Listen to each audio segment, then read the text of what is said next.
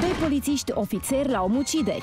Mihai Constantin și Cristi Iacob au misiunea de a descoperi criminalul într-o poveste imorală. Înălțător. Crime, răpiri, șantaj și umor.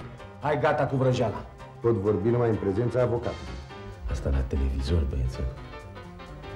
Astea sunt cioace electorale pentru Mița Apaca. Incompetența casă.